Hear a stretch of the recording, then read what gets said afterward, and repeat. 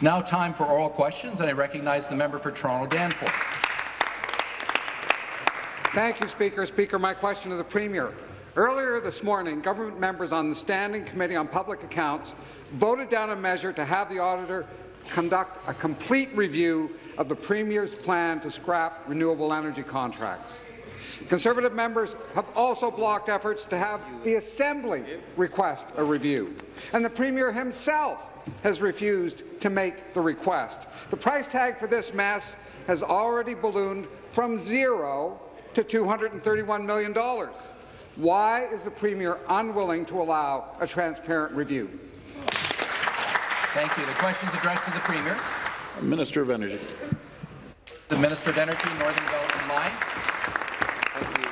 Thank you, Mr. Speaker. When the government tabled the 2018-19 uh, uh, public accounts, the auditor, uh, in fact, reviewed our allocation for the wind down of these projects. And in speaking to the media yesterday, she stated that her office, quote, uh, already looked at the costs associated with the cancellation of the contracts. The audit looked at all of the big contracts and a sample of a number of smaller deals to determine whether the government's calculations were reasonable.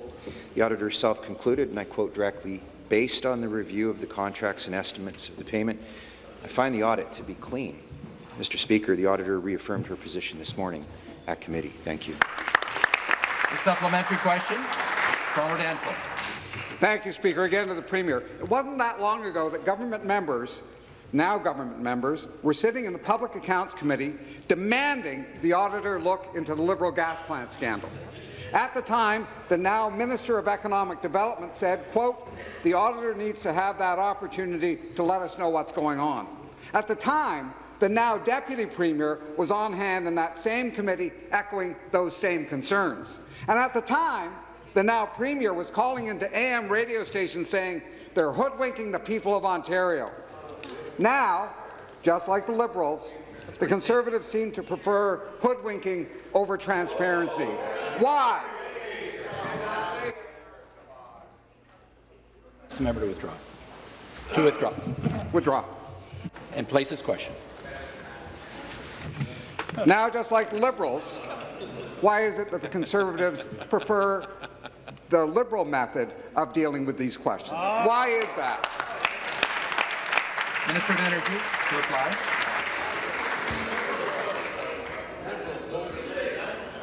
Mr. Speaker, here, Order. here, here, here's some here's some interesting context. The Green Energy Act, of course, which gave rise to the 750 projects that we cancelled, turns out that the NDP voted in favour of the Green Energy Act that forced unnecessary renewable projects onto unwilling communities at a price that they couldn't afford. 90 communities passed motions to declare themselves unwilling to host the Green Energy Act. Billings Township in Algoma, Manitoulin. LaSalle in Windsor, Essex the entire region of Niagara. The former mayor of, of uh, Warwick, Todd Case, declared his community an unwilling host then, retired after 18 years to run for the Ontario NDP in the 2018 election, and sadly, he lost. He didn't get elected. His party Order. didn't stand for what he believed in, Mr. Speaker. Why won't they support us in getting rid of expensive contracts that made our system more complex and more expensive, Mr. Speaker? A hundred The final supplementary. Final supplementary. Thank you, Speaker. Again to the Premier. At a time when the rest of the world is rushing to embrace renewable energy, the Ford government is spending hundreds of millions of dollars tearing it down. Order. And quoting climate change deniers while they do it. And if that wasn't bad enough, they are doing everything they can to ensure that families stuck with the bill don't know the real cost. If the Premier is proud of this mess, Order. why is he afraid of a review? Minister of Energy again. Wow, Mr. Speaker. You know, spent last week and the early part of this week going through all of the increases from 2005 to 2015, a whopping 22 percent in one year that nobody knew it knew about, Mr. Speaker. Thing is, is that the former Liberal government was in cahoots with the NDP, Mr. Speaker, and nobody could see this on their bill. That's why we followed the Auditor Order. General's uh, recommendations to ensure, Mr. Speaker, that it was very clear on people's bill how much this subsidy costs, Mr. Speaker, moving forward in a fully transparent manner, and work moving forward, Mr. Speaker, ensuring that we remove all the pressures on this incredibly complex and costly system, all because of the official opposition and their support for the previous Liberal government. Thank you, Mr. Speaker. The next question, once again, the member for Toronto Danforth. Thank you, Speaker. Again to the Premier. For over a week, the Premier's insisted that the hundreds of millions of dollars he spent cancelling clean energy contracts and tearing down wind farms would bring down hydro bills. It was only last year that he promised to reduce rates by 12 percent. Can the Premier explain why the rates keep going up? The question is to the Premier. Well, through you, Mr. Speaker, I just want to remind the opposition uh, leader and, and Order. Liberals, they put us in this in a spot that we're the most uncompetitive energy cost in North America. 300,000 manufacturing jobs left Ontario because of the NDP and the Liberals.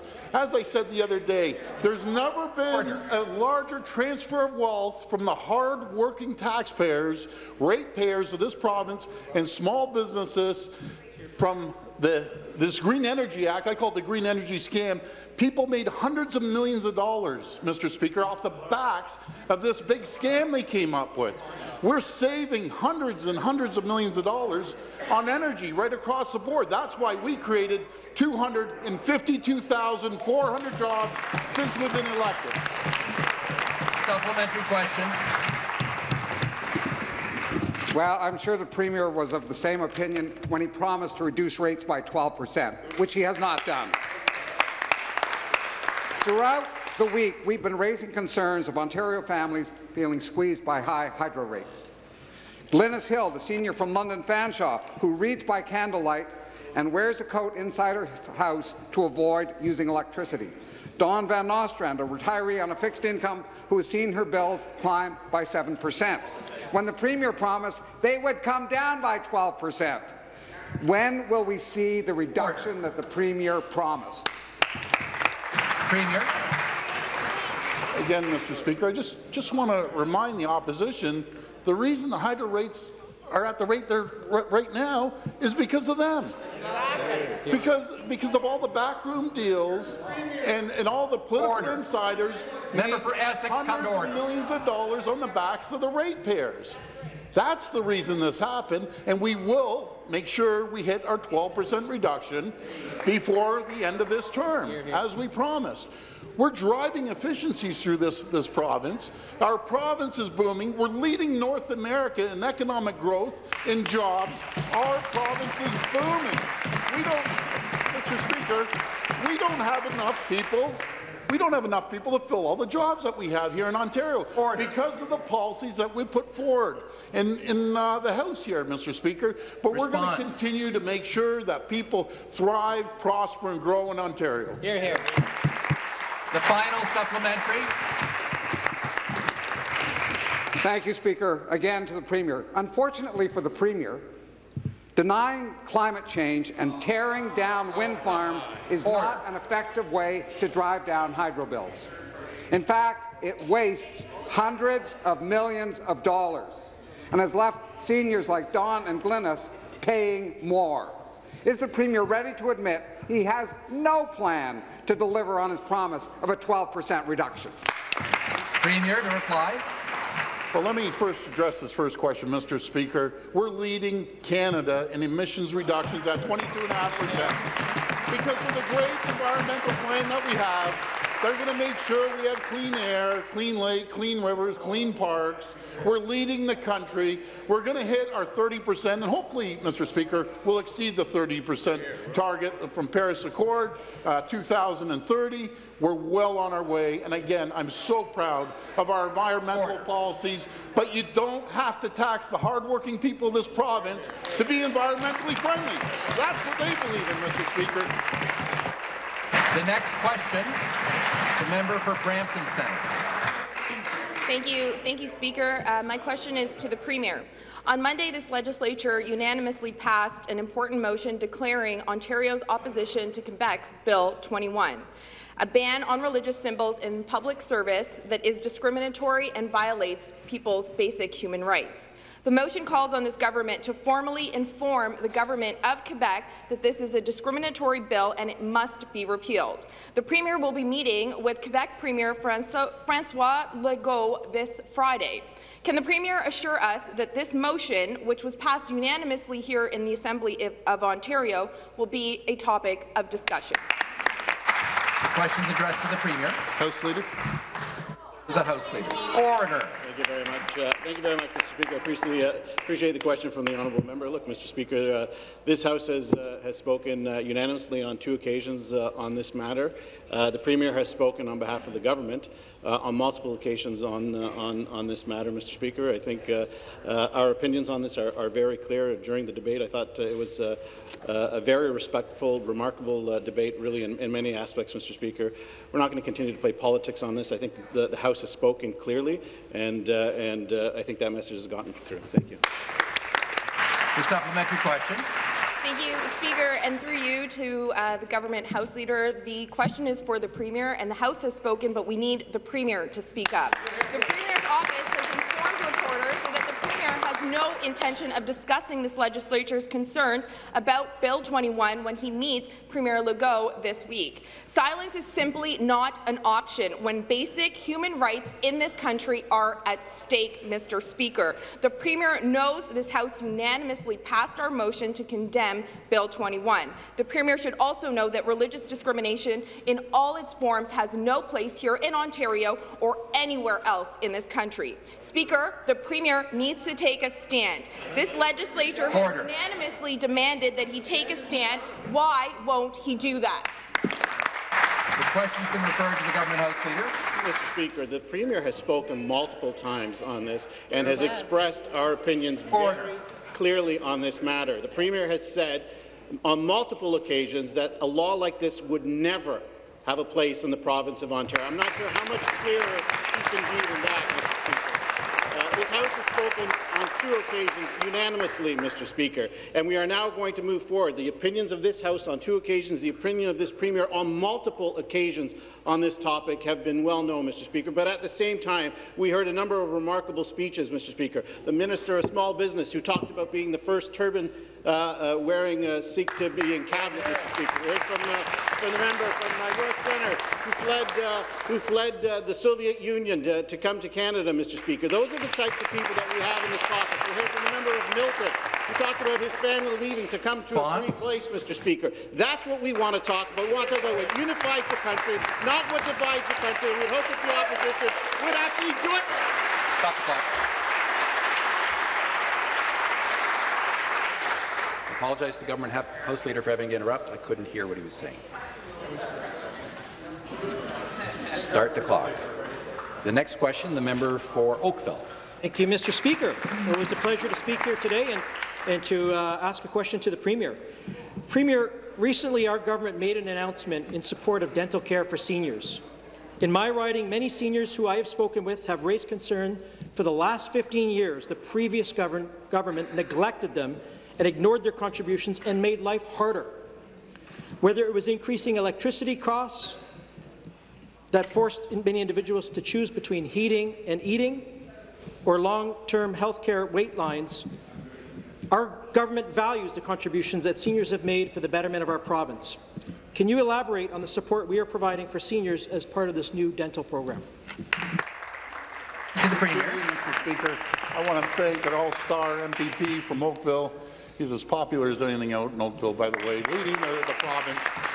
And I, I, Mr. Speaker, I also want to thank the great leadership from our, our, Minister of Health and our Minister of Seniors and Accessibility on, the, on this file here.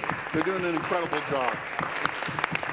As part of our plan to end hallway health care, Mr. Speaker, we're investing in programs that keep seniors healthy in their communities longer.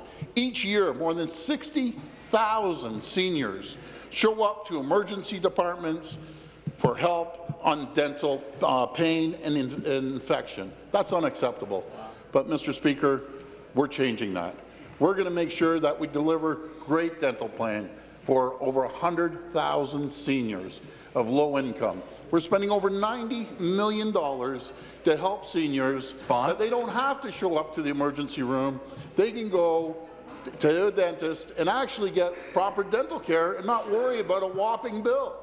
Anyways, we'll, we'll talk more on, on the second question. Supplementary question. Thank you again, Mr. Speaker. And again, uh, my question to the Premier, and I thank the Premier for that answer. As has been previously reported, at least two-thirds of low-income seniors do not have access to proper dental insurance. As a result, untreated oral health issues can lead to chronic disease and lower the quality of life. This is a shocking statistic and speaks to the immediate action that needs to be taken by our government. For far too long, senior health care concerns were considered an afterthought by the previous government. I am proud of the actions and the investments that our government is making to lead the way on this very important issue. Premier, can you describe further on what is provided in this program and other supports our government is committing to seniors of this province? Premier. I'd like to thank the member for his question. Uh, Mr. Speaker, do you know what's ironic? What's ironic is the NDP voted against the seniors on this bill. It's, it's absolutely staggering. They don't want to take care of seniors. We want to take care of seniors. I, I was shocked, actually, they voted against it. Yep. But again, Mr. Uh, Speaker, we're, we're delivering to 100,000 low-income seniors $90 million of dental care. And the services covered will include examinations, oral surgery, x-rays, and repairs for broken teeth and cavities. This builds upon the other supports we're providing for seniors, which include the Seniors Community Grant Program funding. That's an important uh, funding mechanism that seniors, seniors uh, can go out and have programs up to $25,000 per project Response? that encourages activity. Mr. Speaker, Seniors Active Living Centre programs, again, community-based, non-residential programs that promote active living. There are now over 300 programs Thank you very much. The next question, the member for Davenport. Thank you. Good morning, Mr. Speaker. My question is to the Premier. Since day one, this government has tried to drive a wedge between parents, students, and the people who deliver their education. This week, as teachers take job action, parents and students are showing that that tactic won't work. Parents in Ottawa told the CBC, and I quote, I think there are many other areas where the government could explore if it wished to do so, not least of which would be not cancelling a bunch of green energy projects at a cost of hundreds of millions of dollars. Speaker, parents and students are standing shoulder to shoulder with teachers to defend public education. Why won't the Premier do the same thing? Questions addressed to the Premier. Minister of Education. Heard Minister of Education. Thank you very much, Mr. Speaker. Mr. Speaker, our government is committed to renewing schools in this province. The member will know that of the Green Fund that was created, uh, 97 cents the dollar was expended to help improve public schools. That was left out of the question. But what was also left out of the question is the fact that our government has invested $550 million this year alone to improve Order. schools and to build new schools, in addition to maintaining over a billion dollars in renewal funding, because after 15 years of the Liberals having left so many schools in a place of disrepair, we are investing in our schools, we are updating our curriculum, and we're giving hope to young people to achieve their full potential in this province.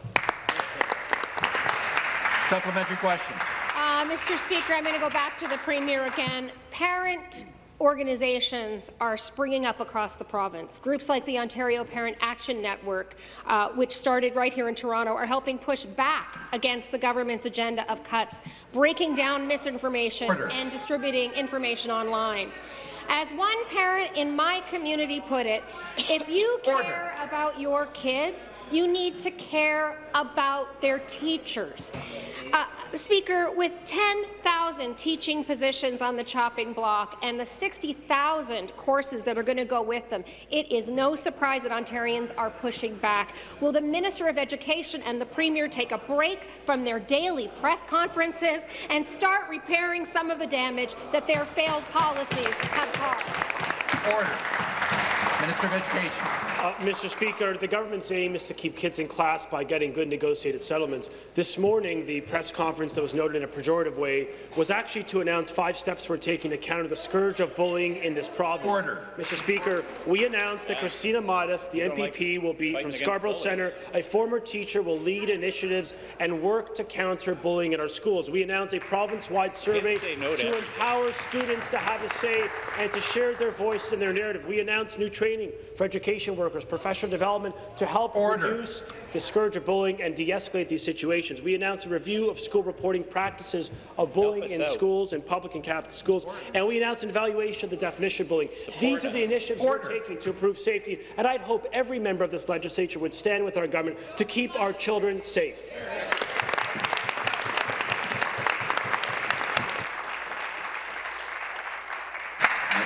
Next question, the member for Scarborough-Guildwood. Thank you, Speaker. My question is to the Premier. Climate scientists have long estimated that Canada is warming at a rate twice as fast as the rest of the world. Yesterday, the UN released an even further damning report on the inaction of G20 countries, including Canada. It is now clear that the targets set in 2015 will be insufficient to prevent catastrophic warming. Mr. Speaker, our communities are already feeling the effects of climate change. Floodings due to rising lake levels, extreme weather, fires are undermining the well-being of our communities. And yet, we're the lucky ones. In the Global South, by 2050, it is estimated that due to heat, drought, and rising sea levels, these places will become uninhabitable. Speaker, through you to the Premier, we are global citizens, Question. and it is our civic duty to take action. Does this Premier and his government believe that climate change is real, and what are they going to do to respond? Questions addressed to the Premier. Minister of Environment. Referred to the Minister of the Environment, Conservation and Parks. very much, uh, Mr. Speaker. And uh, before I answer the question, I just want to say hello to Warren Scott and Daryl Smith, who are here from the St. Thomas Fire Department. Thanks for being here today. But listen, Mr. Speaker, uh, I'm not sure where the member opposite's coming from. Her government set the targets that uh, were agreed upon in Paris uh, for 2030 targets, and we're way on our way to making sure we reach those targets, Mr. Speaker. We have an environment plan in Ontario that we put forward, a living document that we're hoping for uh, others to join in. A member from the Green Party, Mr. Speaker, has numerous times spoken to us about uh, helping us uh, develop a plan for the environment, Mr. Speaker. The NDP have yet to come forward with a plan, Mr. Speaker. They said maybe sometime next year they might have something. It's 2019, Mr. Speaker. It's time to have uh, action on climate, Order. and that is what we're doing through our environmental plan, Mr. Speaker, by increasing the renewables in our fuels, having an impact assessment across this province to see how the climate change is going to affect our province, and we can take hold and take focus on how we're going to deal with that, Mr. Speaker. The supplementary question. Thank you, Speaker. And indeed, we did commit to the Paris Agreement in 2016. Canada affirmed its commitment. But yet this government, Mr. Speaker, has put our plans in reverse. By its actions, it has weakened our commitments to those targets. Today, the youth of this province are taking this government to court because of its inaction on climate change and its refusal to acknowledge that we are in a climate crisis and we must respond now. Mr. Speaker, through you to the minister, will this minister take ambition, this, these ambitious targets seriously and make sure that Ontario does its part once again to address the issues of climate change and stop denying that it's occurring and making sure that we take this seriously in our policies and in our programs and in our response. Thank you. The Minister to reply. Thank you very much, Mr. Speaker, and thank the member opposite uh, again for that question. And I advise her to uh, Google or internet search, contact my office. We'll send you a copy of our Made in Ontario Environment Plan, which is doing just that. It's taking action, working on the success of uh, our, our goals to reach the 30% targets. Uh, Ontario leads the way. We're already 22% uh, below the 2005 emission targets in this province, Mr. Speaker. Again, I'll add in, we've, we've added uh, working towards 15% renewable content in our gasoline, which will lower emissions, Mr. Speaker. We have finalized our emissions performance standards for large uh, industrial emitters to ensure polluters are accountable for the greenhouse gas emissions. We're waiting for the federal government to act and approve that, Mr. Speaker. We've uh, issued green bonds of $1.7 billion to capitalize on provincials' ability to raise funds to deal with uh, uh, climate change. Mr. Speaker, uh, we've announced $30 billion to build new subways in the City of Toronto. That alone will reduce emissions by a million tons when working. Mr. Speaker, we are doing our work. Bring us more ideas, Mr. Speaker. That's what I ask the members opposite. Let's work together in a nonpartisan fashion and clean up our environment. Environment and Thank you. Stop the clock.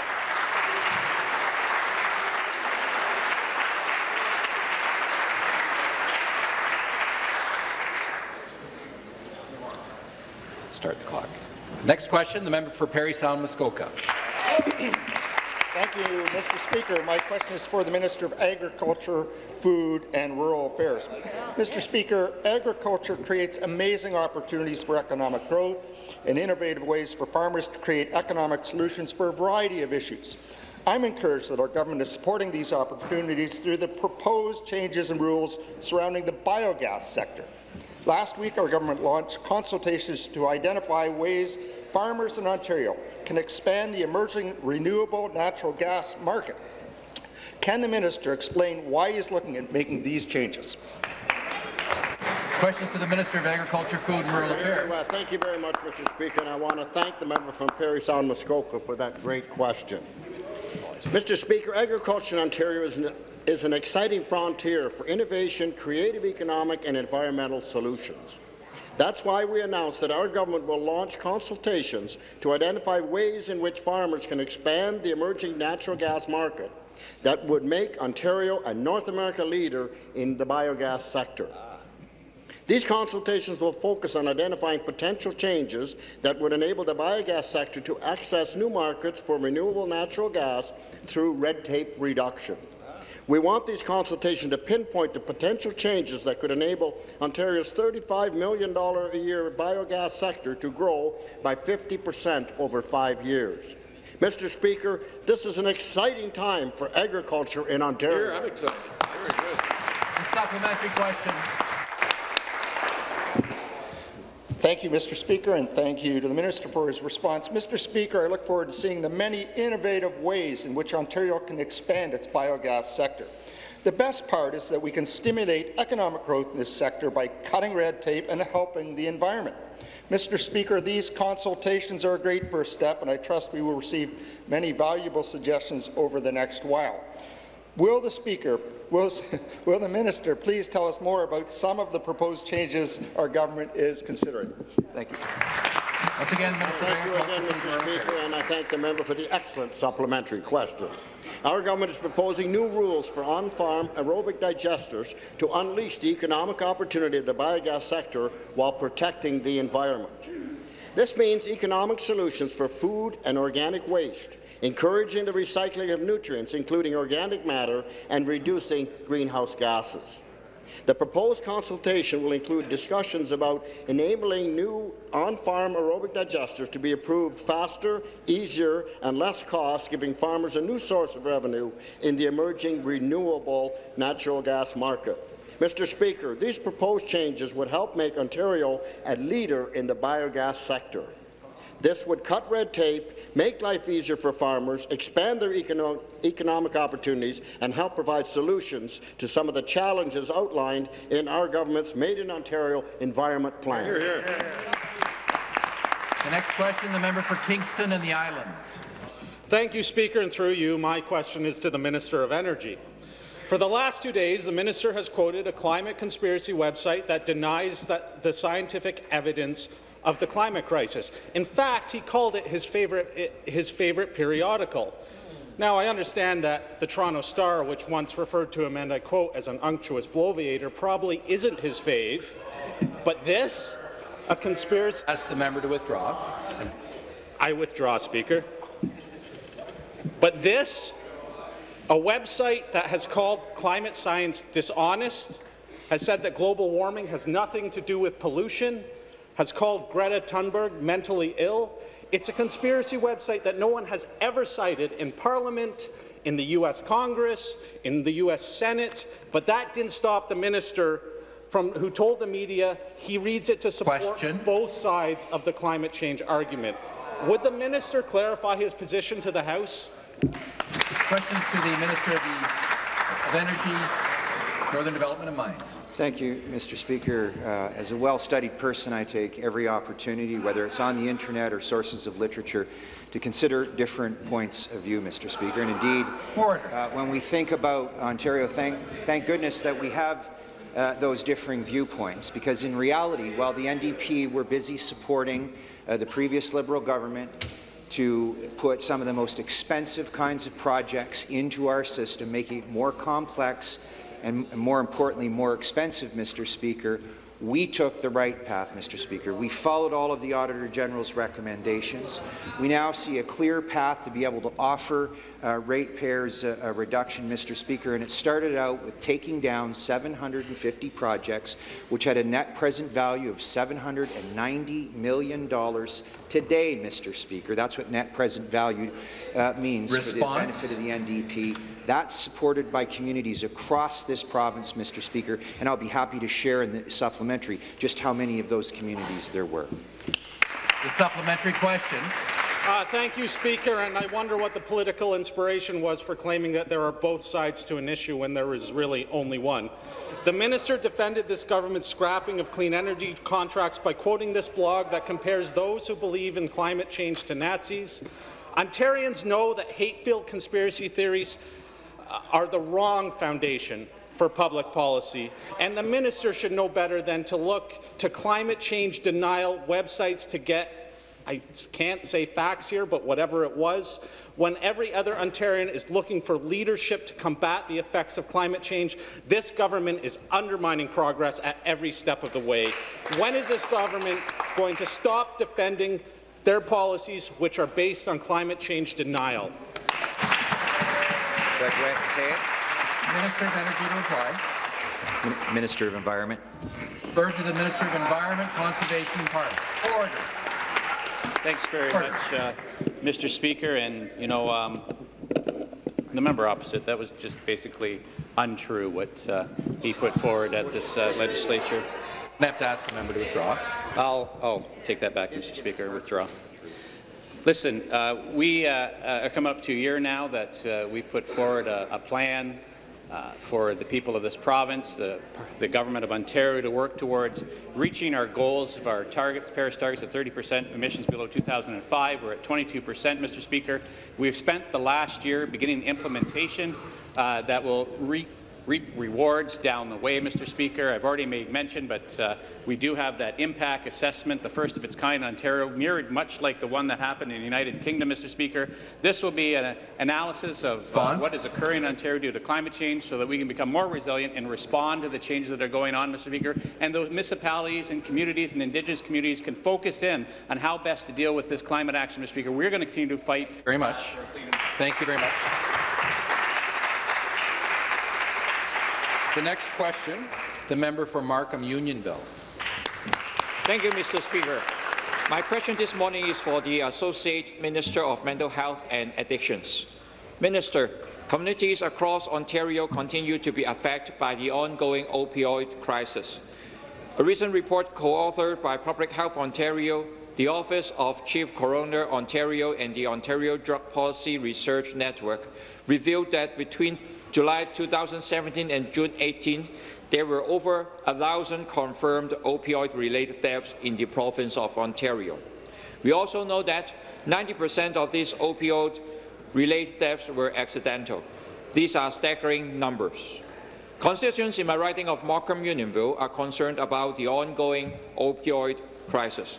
Minister, could you please update the members of this legislature on on what our government is doing to address the ongoing opioid crisis in Ontario. Thank you. The Associate Minister of Mental Health and Addiction. Thank you, Mr. Speaker, and I want to thank the member from Markham Unionville for his important question. Mr. Speaker, our government continues to take the opioid crisis seriously. Our government has conducted extensive consultations spanning the entire province that has directly informed our new consumption and treatment services model. These consultations saw the participation of experts healthcare workers, first responders, community leaders, business owners and stakeholders, including the Opioid Task Force. To date, we've approved 16 CTS sites in communities with the highest needs across the province.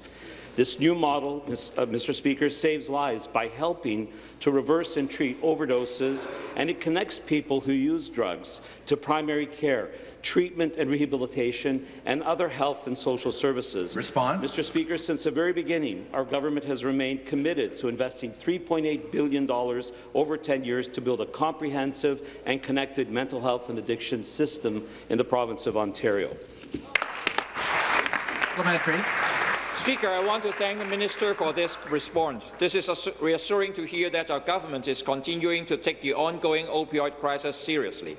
I know that residents in my riding will be pleased to hear that we are taking real action to fight the opioid crisis and are providing the necessary uh, services and supports to the individuals living in an, uh, in an, in an addiction. Minister, could you please explain to the members of this legislature about the investment we are making this year to address the ongoing opioid crisis? Thank you.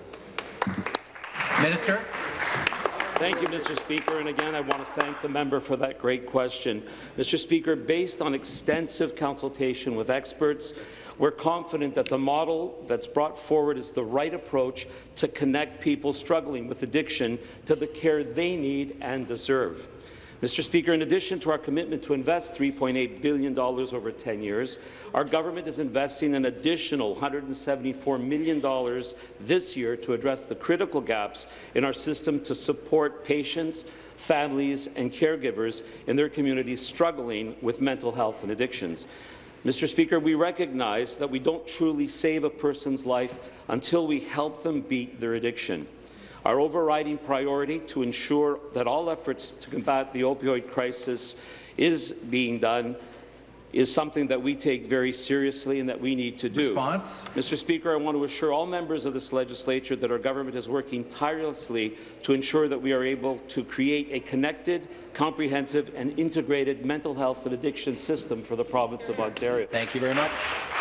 Next question, the member for Niagara Falls. Thank you, Mr. Speaker. My question is to the Premier. Today, we're joined by professional firefighters from across the province, including two from my riding of Niagara Falls. None of us here will dispute they've got just about the toughest job around. As first on the scene for anything from major fires to a fatal car crash, our firefighters have to be at their best when often we're at our, at our worst. Then they're left to process what they've experienced. Presumptive PTSD coverage legislation championed and first introduced by the New Democrats, passed in 2016. Municipalities are now required to submit PTSD prevention plans, but not necessary to follow through on those plans. Will the minister tell the House what concrete steps, including funding, has the government taken to ensure that our firefighters receive the same standard of post-traumatic stress care no matter where they serve? I leave the questions addressed to the Premier. Uh, Minister of Labour. Refer to the Minister of Labour, Training and Skills Development. Well, thank you uh, very much, uh, Mr. Speaker.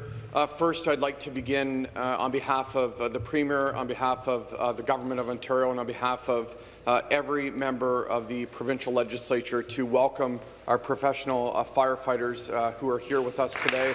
as well, Mr. Speaker, on behalf of every single person in Ontario, every family and every community across the province to sincerely and truly thank them uh, for everything that they do uh, for, to protect our families uh, across the province. Mr. Speaker, uh, our government will continue to stand shoulder to shoulder with every first responder uh, in the province of Ontario. I know uh, my office and I have had a number of conversations with the professional firefighters, and we continue to work with them to send that message that we're going to stand with them every step of the way. Supplementary question. Thank you, Mr. Speaker. And back to the Premier. Firefighters find themselves exposed to toxics that can cause cancer at higher rates than other members of our population. These exposures don't just happen at the scene of the fire, but continue on their gear and equipment firefighters use, at the fire station, and even back in their homes, with potentially to affect their families. We know that firefighters and first responders are heroes in all our communities. Right now, guidelines are being created that will help protect the health and safety of firefighters. And this is good. But only if this government follows through. Will the minister commit today to implementing, through regulation, any recommendations this committee makes to keep our firefighters safe on and off the job?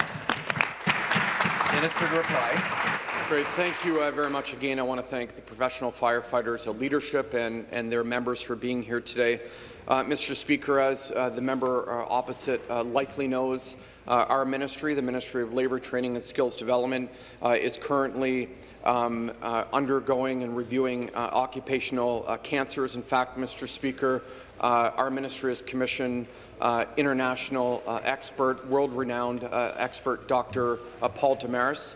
I met with Dr. Demers last night, Mr. Speaker, actually at Mars, joined the medical community, joined many of our friends in the building trades when it comes to cancers related from asbestos. And, Mr. Speaker, when it comes uh, to the Section 21 committee that the member opposite uh, referenced, uh, I've been attending uh, Section 21 uh, committee uh, meetings, Mr. Speaker. we're going to continue to work with professional firefighters, continue to demonstrate leadership, and continue to tell them and show them that we stand shoulder to shoulder and thank them for what they do. Next question, the member for Parry Sound Muskoka. Thank you, Mr. Speaker. My question is for the Minister of Heritage, Sport, Tourism and Culture Industries. First of all, I want to thank the Minister for coming to my riding of Sound Muskoka to speak to tourism operators last week. I know they appreciated speaking with her firsthand about the challenges they face. The Minister often says that Ontario offers the world in one province. During the summer, this is true. You can take part in festivals celebrating any culture on any weekend in Toronto, Ottawa, and many cities. For example, I know the minister went to a Highland Games, Caribbean Festival, Southeast Asian Festival, and a Chinese event all in one weekend in a riding of Nepean. Minister, while that's great in the summer months, many people see winter as a time to hibernate.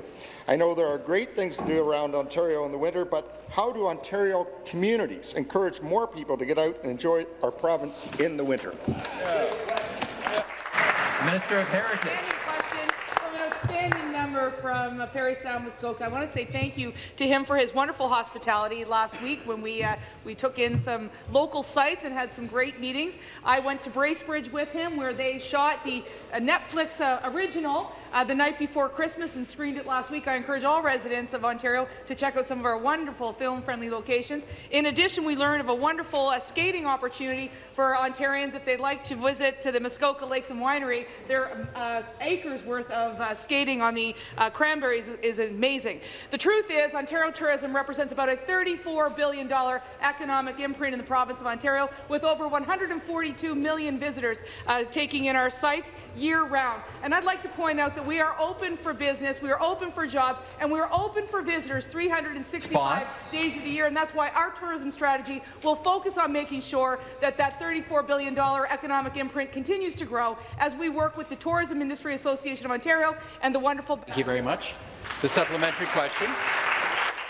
Mr. Speaker, it's great to hear that Ontario is open for visitors 365 days a year.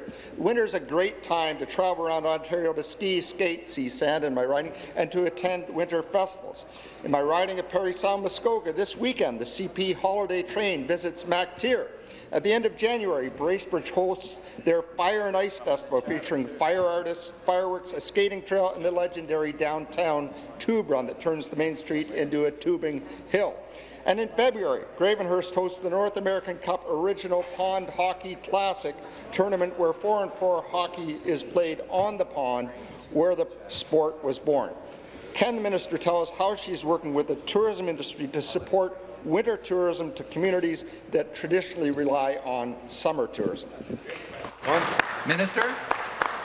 You, uh, Mr. Speaker. The truth is, whether you're in the Thousand Islands, whether you go to Niagara Falls or you go to Muskoka, you are looking at the most beautiful and picturesque places in the entire world, regardless of which season we're operating in. And that's why our tourism strategy that we will move forward with will ensure that we're open for business, open for jobs, and open for visitors 365 days of the year so that we can take in those wonderful um, opportunities. The truth is also in this ministry, Speaker, we host a number of sport hosting events that will continue to roll out as uh, in, the winter months as well as in the spring and the fall. We're going to continue to uh, work with our film and television operators uh, right across this province to ensure that they're going to film-friendly locations, not just in Ottawa and Toronto, but elsewhere in our wonderful province. And through Celebrate Ontario, we'll continue to fund excellent events like Winterfest in Vaughan, the Festival of Lights, which is happening right now in Niagara, Response? and uh, the 20 Valley Festival that's happening right now um, in Winterfest. So, Mr. Speaker, we are a, a, province that is the world in one province, but at the same time, we are making sure that we are a four-season destination the world over. Thank you. Very much. The next question, the member for Niagara Centre. Thank you, Speaker. My question is to the Premier. Yesterday, the President of the Association of Municipalities of Ontario appeared before a legislative committee to warn about the consequences of Bill 132. He said that if the Premier was going to weaken protections for drinking water while reducing penalties for polluters, then municipal officials should not face prosecution for any harms caused by the Premier's short-sighted decisions to scrap important water protections. Mr. Speaker, it is unbelievable that in 2019 we are rolling back water protections to the point that municipal leaders are fearful that they will be held liable for a future disaster that is made in almost inevitable by this government's short-sightedness. Will the Premier withdraw Schedule 9 of Bill 132 and stop risking the safety of Ontario's drinking water? To the government to respond. Deputy Premier. Forces. Referred to the Minister of Natural Resources and Forestry. Thank you very much, uh, Speaker, and thank you, thank you to the member for the question. Uh, I can tell you that uh, from the ARA, the Aggregate Resources Act point of view, we are making changes that are going to ensure that Ontario has an adequate supply of aggregates over the next 15 to 20 years when there's massive Order. growth taking place in the province. And protection of water is of a paramount responsibility and of paramount importance. And that's why we have ensured that through changes to the Act that the ability to go below the water table will rest on the province's shoulders, not the municipalities, so that we'll have a one, one source uh, point for responsibility for those actions. But I want to point out that anyone who does go below the water table, Response? if they're approved, will have to go through a rigorous, more rigorous uh, environmental assessment than they have before. Protection of water is paramount in this province. Thank you. The supplementary question. Speaker, I don't understand why this Premier is so determined to repeat the same mistakes that led to the Walkerton disaster. He tried to do an end run Order. the Clean Water Act with Bill Order. 66. Order. He repealed the Toxics Reduction Act. He's scrapping nine regulations that limit discharges of industrial water pollution. He's overruling municipal plans that protect threats to groundwater due to aggregate extraction, and he's reducing penalties for polluters. Will it take another Walkerton for this Premier to realize that protecting our drinking water is not red tape? Minister to reply. Minister? of the Environment. Oh, referred to the Minister of the Environment, Conservation and Parks. Well, thanks very much, uh, Mr. Speaker. Listen, uh, I take objection to the member's question there. We have not lowered any fines to any polluters in this province. In fact, we have in tremendously increased our ability to oversee uh, facilities across this province. Mr. Speaker, we have increased the amount of monetary penalties that can be enforced in this province, Mr. Speaker, for those that are polluting our environment. Under the previous governments, uh, since the beginning of time, Mr. Speaker, there's been so many facilities that have been allowed to pollute with no tools available to the environmental officers to deal with them. Mr. Speaker, we are adding in those tools to deal with monetary penalties, Mr. Speaker, and in fact, if a business, uh, Mr. Speaker, Order. if an individual is being economically benefited from them polluting the environment, Mr. Speaker, not only will they be charged the monetary penalty, but they can be Response. charged the economic benefit that they also receive from polluting the environment. Mr. Speaker, we are holding polluters, polluters accountable. We are going to be tough with polluters, Mr. Speaker, and assure you, the member opposite, we are keeping our environment, water, land, and air. Thank you very much. The next question, the member for Oakville North, Burlington. Thank you, Speaker. My question today is for the Solicitor General. Protecting citizens is a fundamental responsibility of government, and part of that responsibility is the continued support of the hard-working fire services and firefighters from across Ontario in the work they do keeping our community safe. Speaker, there are a number of different tools and resources that fire services rely on when ensuring the safety of the communities they protect. These aren't always top of mind for everyone, but they have a big impact on fire services' ability to do their job. Could the Solicitor General please let us know how our government is supporting firefighters in Ontario in their vital work keeping the people of Ontario fire safe? Questions to the Solicitor General. And uh, thank you to the member from Oakville North Burlington. You know, she's absolutely right. It is an issue that uh, the, the members who have joined us here from the OPFFA understand uh, because they deal with it every day. But frankly, uh, the general public just assumes that when there is an issue, those firefighters are going to come to protect their homes and their families. So to them, thank you for your engagement and thank you for your participation in your lobby day today.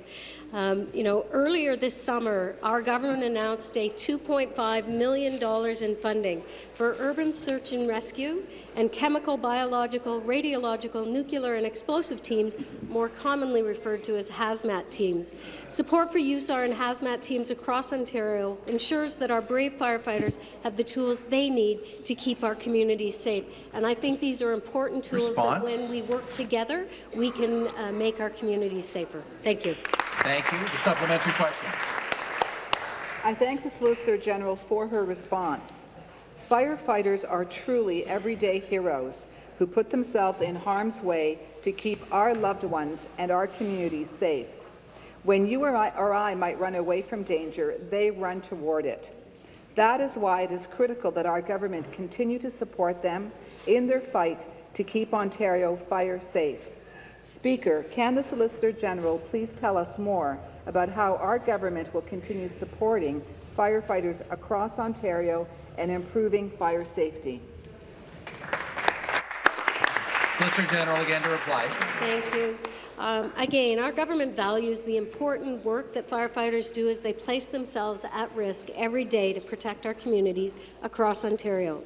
It's why we will continue to work with our first responders on the front lines of community safety in order to create a public safety regime that puts people first and provides our frontline officers and heroes with the tools and resources they need to keep our communities safe. That's why I was pleased to speak at the OPFFA's recent legislative conference and this morning continued that conversation with members of their executive. As Solicitor General, I look forward to continuing our strong relationship with our firefighters to continue working with them on their essential work in our communities. Thank you. The member for Timmins.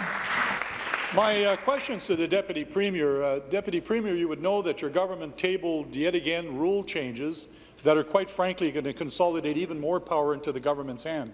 Despite your current record, you have used time allocation over 90% of the time that legislation has come through this House. You have used the notwithstanding clause in order... His comments through the chair. Thank you very much, Speaker.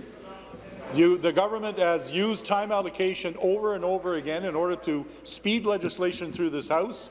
The government has used even the notwithstanding clause in order to change the electoral process in the City of Toronto in the midst of an election. So Order. the question I have is a very simple one. How does consolidating even more power in your hands enhance the democratic process? Question's been addressed to the Deputy Premier.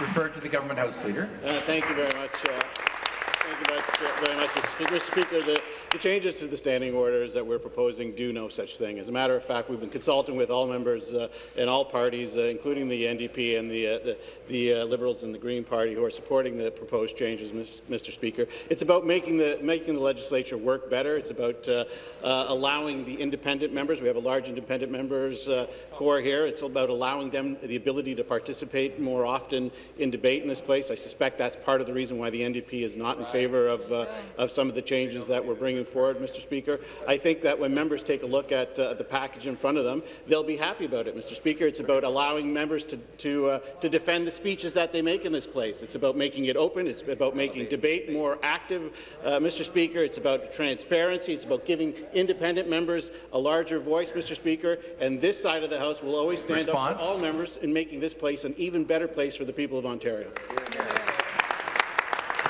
Supplementary question. Speaker, to the, uh, to the uh, acting premier, this does no such thing as what you're just trying to say. All this does is it allows the government to move legislation through the House lickety-split even faster than you did before. If the Liberals and the Greens are happy with that and are prepared to support you, well then shame on them.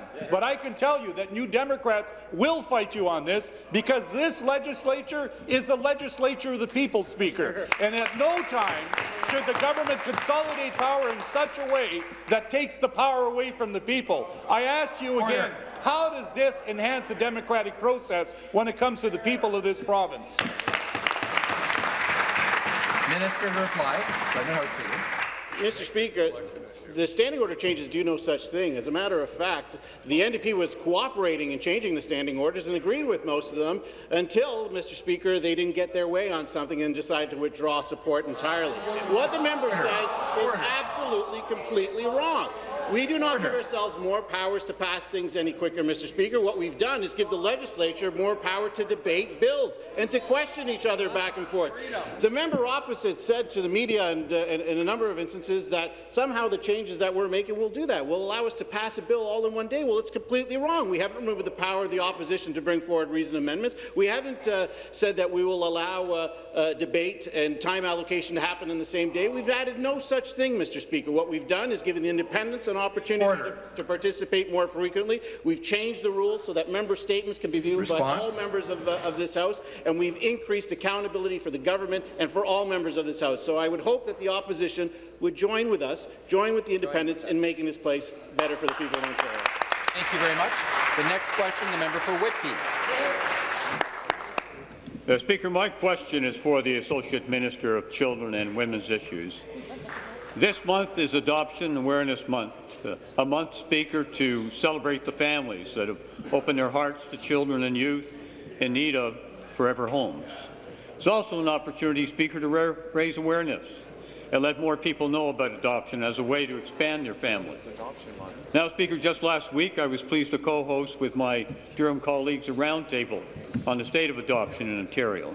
It was a moving experience, Speaker, to hear firsthand from adoptive families and their struggles in particular. We also heard from many other organizations that they provided their input as well on this important topic. Can the minister please tell the House how she is modernizing the child care system to help more children find their forever home? Great question. Associate Minister of Children and Women's Issues. Thank you, Mr. Speaker, and thank you to the whip from Whitby for that great question. The Adoption, the Adoption Council of Ontario's theme this year is answering the call. Those who step up to care for children have answered the call, and it is our duty as government to do the same. That is why we have committed to re-examining the adoption system to protect and the interests of children and youth and make adoption easier for those involved. We know that children and youth are not being matched with families as often as they should. For example, in 2018-2019, there were over 4,000 children and youth in the permanent care of children's aid societies in Ontario who were eligible for adoption. Yet approximately only 800 of those children and youth were adopted. Speaker, we can do better and we must do better. Our government is proud to support the great work done by groups such as a Parent Support Network, Adopt for Life, and Dave's, Dave Thomas's Foundation for Adoption. Whether it is adoption or kinship care, creating permanency for children and youth in Ontario is a goal that every member of this legislature supports. The supplementary question.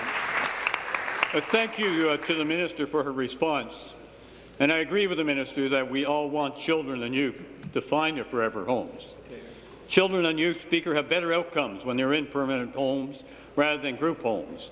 They're more likely to finish high school, seek higher education, and be more emotionally secure than peers who remain without a permanent family.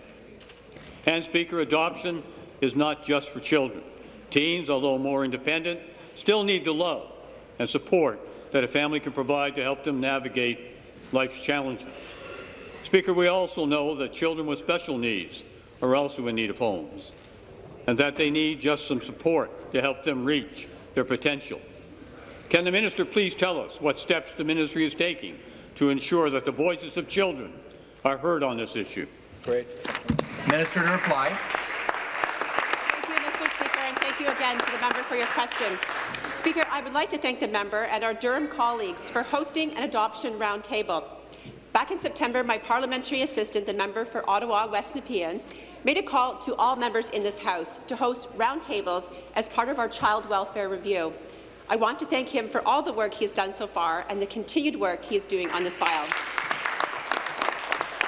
When it comes to adoption, we'll be hosting a roundtable comprised entirely of youth to hear their thoughts on the challenges they faced. Speaker, our government continuously engages with a variety of voices, including current and former youth in care like Jane Kovarikova from the Child Welfare PAC, who was here yesterday to make sure all voices are heard. For too long, adults and those who have been in the system have made decisions impacting children without seeking their input.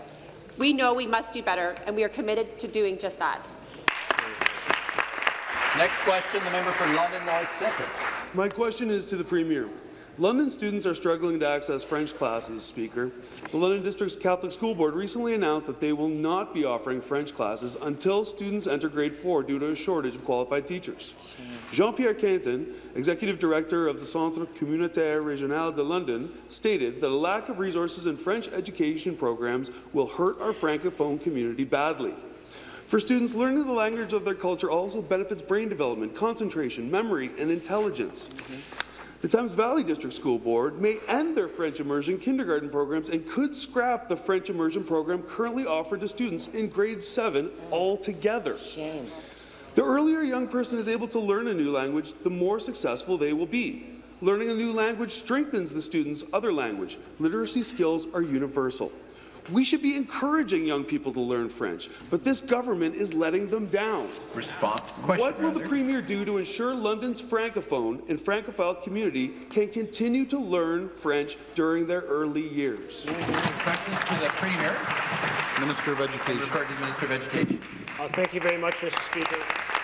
Uh, and thank you to the member opposite for the question. The way we ensure that the linguistic duality in English and French is provided for every student is to invest in the school board in the London Catholic District School Board. Funding is up over $5 million because of our government's commitment to public education in London, in Middlesex, and every region of southwestern Ontario. Mr. Speaker, when it comes to French language education, it is this government, under the leadership of this Premier, that's investing more in French language education and preservation than any government in the history of Ontario. A $16 million net increase year over year. We're going to continue to invest, working with the Minister of Francophone Affairs, to protect French language, identity and culture in this province now and into the future.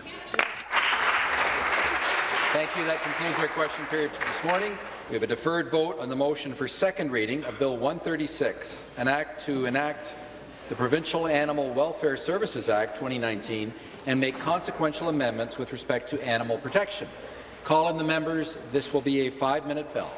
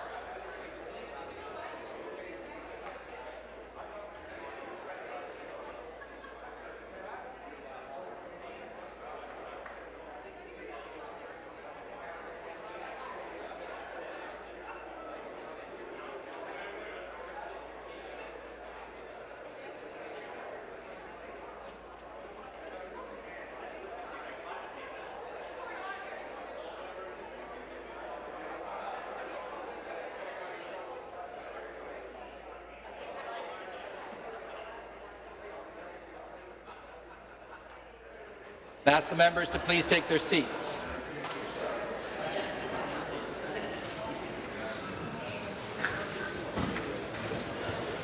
On November 6, 2019, Ms. Ms. Jones moved second reading of Bill 136. All those in favour of the motion will please rise one at a time and be counted by the clerk. Ms.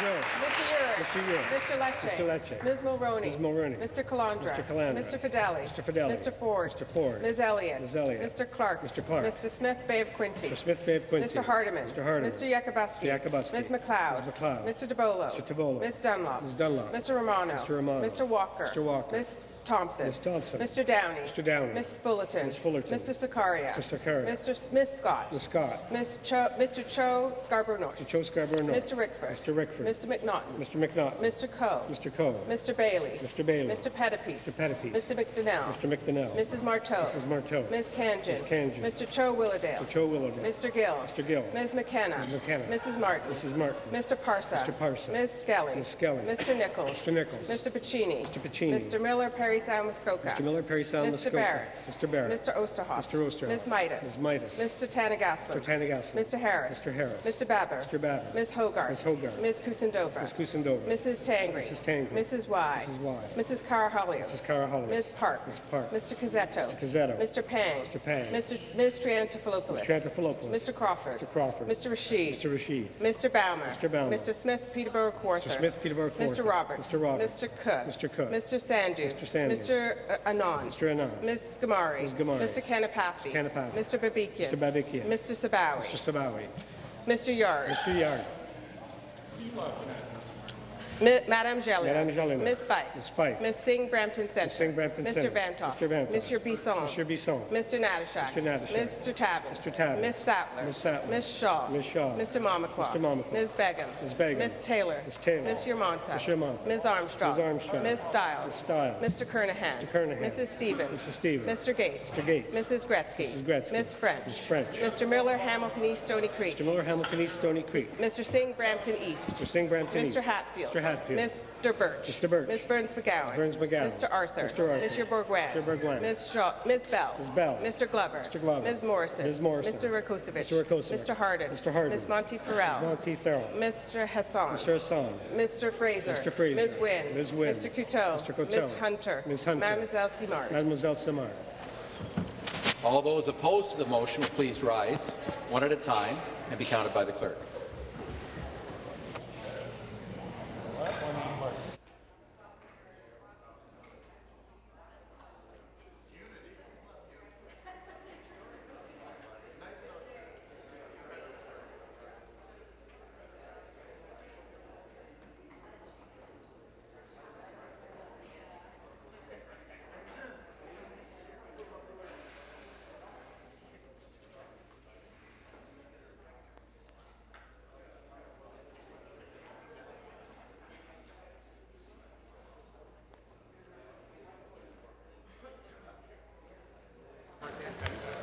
The ayes are 107, the nays are zero.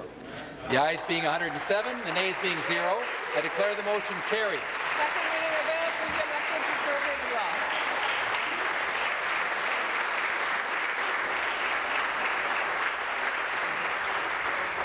Pursuant to the order of the House dated November 25, 2019, the bill stands referred to the Standing Committee on Justice Policy. We now have a deferred vote on the motion for second reading of Bill 138, an act to implement budget measures and to enact, amend and repeal various statutes. Call in the members. This is a five-minute bell.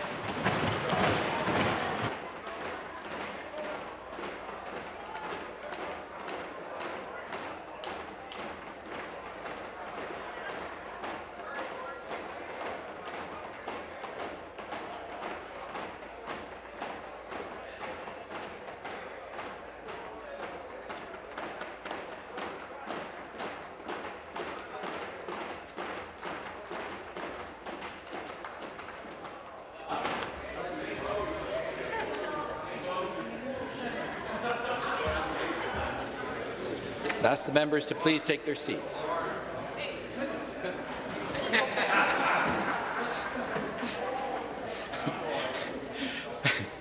On November 19, 2019, Mr. Phillips moved second reading of Bill 138. All those in favour of the motion will please now rise one at a time and be recognized by the clerk.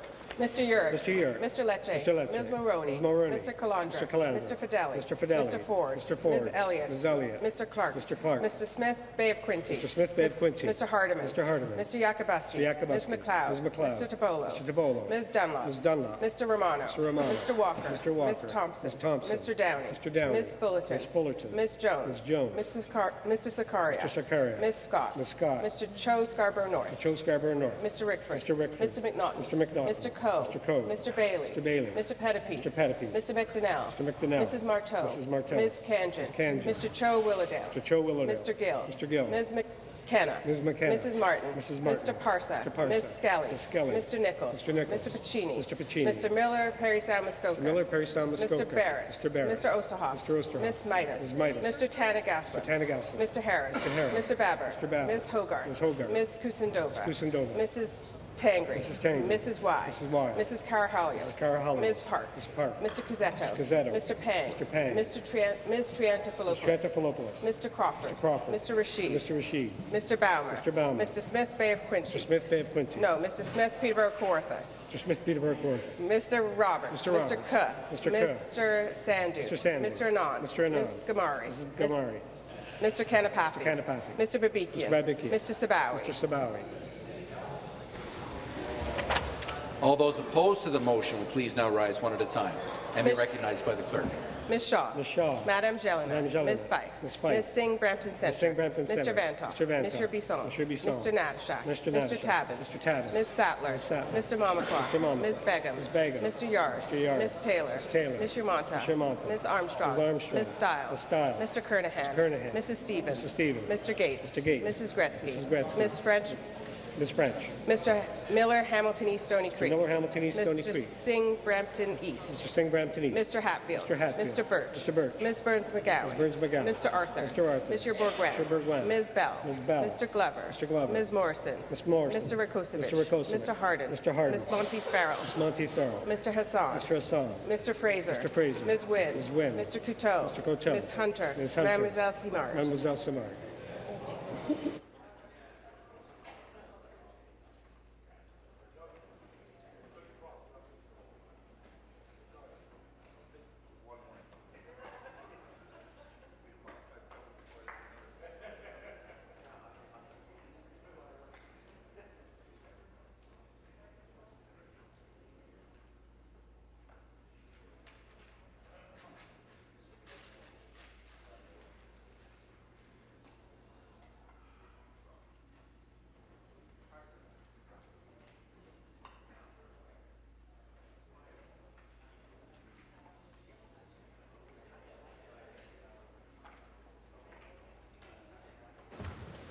The ayes are 69, the nays are 38. The ayes being 69, the nays being 38, I declare the motion carried. Second reading of the bill, Vision Electric Projet Pursuant to the order of the House dated November 26, 2019, the bill stands referred to the Standing Committee on Finance and Economic Affairs. We have a deferred vote now on the amendment to Government Notice of Motion Number 73 relating to standing order changes. Call in the members. This is a five-minute bell.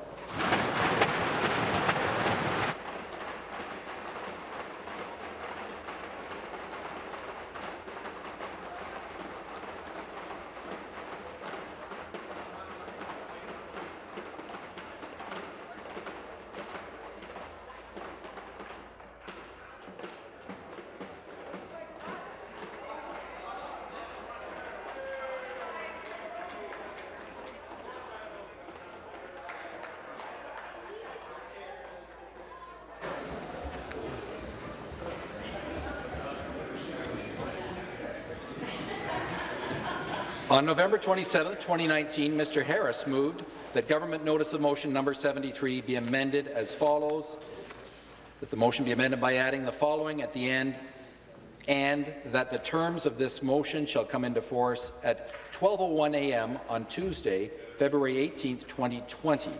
All those in favour of Mr. Harris's motion will please rise one at a time and be recognized by the clerk. Mr. Harris. Mr. Harris. Mr. Yurek. Mr. Yurek. Mr. Lecter. Mr. Lecter. Ms. Mulroney. Ms. Mulroney. Mr. Calandra. Mr. Calandra. Mr. Fedeli. Mr. Fedeli. Mr. Ford. Mr. Ford. Ms. Elliott. Ms. Elliott. Mr. Phillips. Mr. Phillips. Mr. Clark. Mr. Clark. Mr. Smith Bay of Quinte. Mr. Smith Bay of Quinte. Mr. Hardeman. Mr. Hardeman. Mr. Yakabuski. Mr. Yakabuski. Ms. MacLeod. Ms. MacLeod. Mr. Tibollo. Mr. Tibollo. Ms. Dunlop. Ms. Dunlop. Mr. Romano. Mr. Romano. Mr. Walker. Mr. Walker. Ms. Thompson. Ms. Thompson. Mr. Downey. Mr. Downey. Ms. Fullerton. Ms. Fullerton. Ms. Jones. Ms. Jones. Mr. Sarkaria. Mr. Sarkaria. Ms. Scott. Ms. Scott. Mr. Cho Scarborough North. Mr. Cho Scarborough North. Mr. Rickford. Mr. Rickford. Mr. McNaughton. Mr. McNaughton. Mr. Mr. Coe. Mr. Coe. Mr. Bailey. Mr. Bailey. Mr. Pettapiece. Mr. Pettapiece. Mr. McDonell. Mr. McDonell. Ms. Martow. Mrs. Martow. Ms. Khanjin. Ms. Khanjin. Mr. Cho Willowdale. Mr. Cho Willowdale. Mr. Gill. Mr. Gill. Ms. McKenna. Ms. McKenna. Mrs. Mar- Martin. Mrs. Martin. Mr. Parsa. Mr. Parsa. Ms. Skelly. Ms. Skelly. Mr. Nicholls. Mr. Nicholls. Mr. Piccini. Mr. Piccini. Mr. Miller, Parry Sound, Muskoka. Mr. Miller, Parry Sound, Muskoka. Mr. Barrett. Mr. Barrett. Mr. Oosterhoff. Mr. Ms. Oosterhoff. Mitas. Ms. Mitas. Mr. Thanigasalam. Mr. Thanigasalam. Mr. Baber. Mr. Baber. Ms. Hogarth. Ms. Hogarth. Ms. Kusendova. Ms. Kusendova. Mrs. Tangri. Mrs. Tangri. Mrs. Wai. Mrs. Wai. Mrs. Karahalios. Mrs. Karahalios. Ms. Park. Ms. Park. Mr. Cuzzetto. Mr. Cuzzetto. Mr. Pang. Mr. Pang. Ms. Triantafilopoulos. Mr. Triantafilopoulos. Mr. Crawford. Mr. Crawford. Mr. Rasheed. Mr. Rasheed. Mr. Bouma. Mr. Bouma. Mr. Smith, Peterborough Kawartha. Mr. Smith, Peterborough Kawartha. Mr. Roberts. Mr. Roberts. Mr. Cook. Mr. Cook. Mr. Anand. No, Mr. Sandhu. Mr. Sandhu. Mr. Anand. Mr. Anand. Ms. Ghamari. Ms. Ghamari. Mr. Kanapathi. Mr. Kanapathi. Mr. Babikian. Mr. Babikian. Mr. Sabawy. Mr. Sabawy. Mr. Fraser. Mr. Fraser. Ms. Wynne. Ms. Wynne. Ms. Hunter. Ms. Hunter. Mademoiselle Simard. Mademoiselle Simard. All those opposed to the motion will please rise one at a time and be recognized by the clerk. Monsieur Bisson. Monsieur Bisson. Madame Gélinas. Ms. Fife. Ms. Fife. Ms. Singh Brampton Centre. Ms. Singh Brampton Mr. Centre. Vanthof. Mr. Vanthof. Mr. Natyshak. Mr. Natyshak. Mr. Tabuns. Mr. Tabuns. Ms. Sattler. Ms. Sattler. Ms. Shaw. Ms. Shaw. Mr. Mamakwa. Mr. Mamakwa. Mr. Ms. Begum. Ms. Begum. Mr. Yarde. Mr. Yarde. Ms. Taylor. Ms. Taylor. Ms. Yermonta. Ms. Yermonta. Ms. Armstrong. Ms. Armstrong. Ms. Stiles. Ms. Stiles. Mr. Kernaghan. Mr. Kernaghan. Mrs. Stevens. Mrs. Stevens. Mr. Gates. Mr. Gates. Mrs. Gretzky. Mrs. Gretzky. Ms. French. Ms. French. Mr. Miller. Mr. Miller, Hamilton East Stoney Creek. Mr. Miller, Hamilton East, Stoney Mr. Creek. Singh, Brampton East. Mr. Singh, Brampton East. Mr. Hatfield. Mr. Hatfield. Mr. Birch. Mr. Birch. Ms. Berns McGowan. Ms. Berns McGowan. Mr. Arthur. Mr. Arthur. Monsieur Bourgouin. Bourgouin. Ms. Bell. Ms. Bell. Mr. Glover. Mr. Glover. Ms. Morrison. Ms. Morrison. Mr. Rakocevic. Mr. Rakocevic. Mr. Harden. Mr. Harden. Ms. Monteith Farrell. Ms. Monteith Mr. Farrell. Hassan. Mr. Hassan.